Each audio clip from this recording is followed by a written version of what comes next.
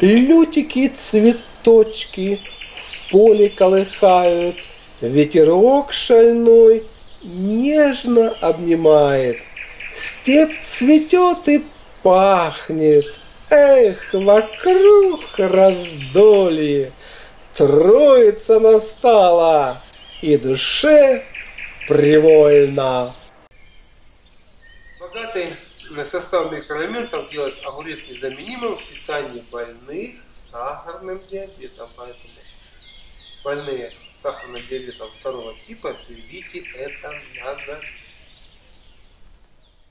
7 июня Иванов день. Назван в честь перенесения головы Иоанна Крестителя в византийскую столицу около 850 года. Иоанн предсказал приход Спасителя на землю. Сам крестил Иисуса в водах Иордана. Предсказал он и смерть Иисуса Христа во имя веры. Жизнь Иоанн вел очень строгую, никого не боялся, обличал грешников, и проповедовал христианскую веру. Так он обличил царя в грешной жизни, который отнял супругу своего брата и женился на ней. За это ему отрубили голову. Согласно наблюдениям наших предков, сегодняшнего дня начинались медведяные росы, которые очень вредны. С современной точки зрения медведяна, мучнистая роса, представляет собой сладкие выделения червей и тли, которые питаются соками растительности. Отсюда поговорка «медвяная роса ржавыми ведает, сладко стелится, да больно выедает. Причем вред распространялся не только на растения, но и на животных. Выпала медовая роса, моровая на скотину пошла. Чтобы уберечь домашних животных, их проводили через пепелище от костра. Что касается обычной утренней росы, то ее очень почитали. В старину под нее клали различные травы, лекарственные коренья, корешки. Приметы. Обильная роса сегодня утром будет солнечный и теплый день. Если росы нет, то после обеда возможен дождь. Земля сырая, к хорошему урожаю хлеба и наоборот. К ухудшению погоды, если роса появилась после захода солнца,